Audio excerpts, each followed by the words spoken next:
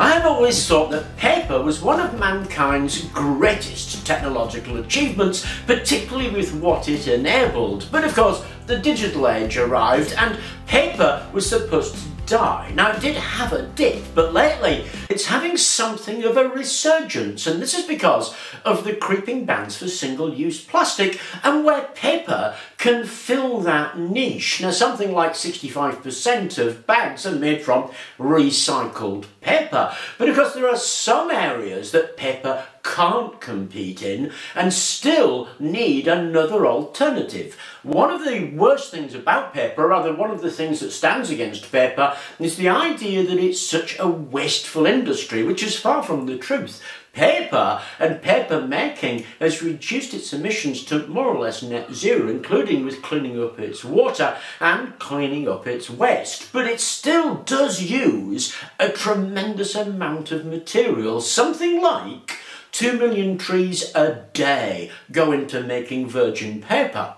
The first stage in virgin paper making is to drop those trees into a debarker. It's something like a great big potato peeler that strips off the bark and leaves a little bit on the tree. The tree is then washed to get rid of any residuals and it drops into a chipper which creates a mountain of sawdust that is then fed into the mill. So what we get is great big piles of wood chips and sawdust and great big piles of bark. And it's a lot of bark. And mostly what happened to that bark is it was burnt as fuel. Now, when we think of a plastic product, we think of it as being 100% plastic. You know, it's on the bag, LDPE, HDPE, PVC, whatever it is.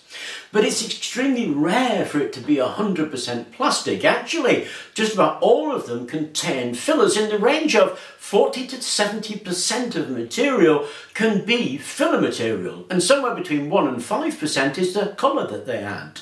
The filler material isn't just there to fill it out, although it does reduce the cost. It will also change the mechanical properties. It can make it more durable, it can make it tougher, it can make it scuff resistant, it can make it more heat resistant. So fillers are put into plastics at a surprising amount to improve the properties of plastics, as well as bulk them out and reduce the cost. And there are four favourites.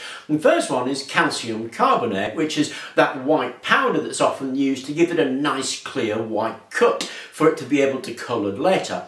Then they use magnesium silicate, which we know as talcum powder. Barium sulfate is very often used, as is sodium sulfate, which is more clear than barium sulfate. And sodium sulfate is used in things like plastic bags. Even a transparent plastic bag can be something like 15 to 40% of filler material. So filler materials are put into plastics all of the time. And of course, I bet you can see where I'm going with this. We have all of this plastic that we already use filler materials for, and we have bark, a lot of it.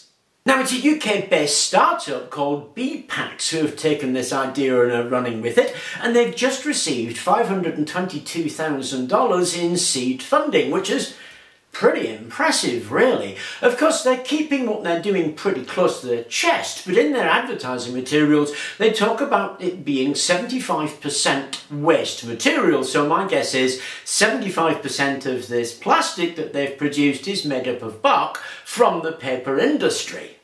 Now they're targeting single-use plastics, things like packaging and cups, because something like 400 million tonnes of single-use plastic will be produced this year alone, and of that, only about 9% will be recycled. The rest will go into landfill. And the reason to use bark?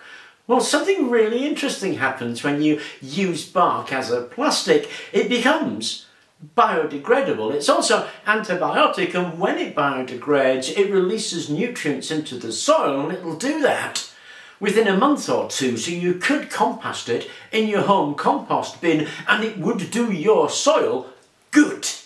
Now where Bpacks have been really clever is that their bark-based plastic can be used in existing machinery. That's actually super important. It's called the legacy effect. When you have a whole load of an industry that's invested billions of dollars in the machinery and they have to change that, it obviously creates a huge amount of resistance, but Bpacks plastic will go into existing thermoform and injection moulding machinery without the need to change it, and that will make adoption of it very much more likely than if you had to retool an entire industrial sector. So aiming at that is really clever thinking and it's a really innovative idea to do it that way because that way will bring change that much nearer.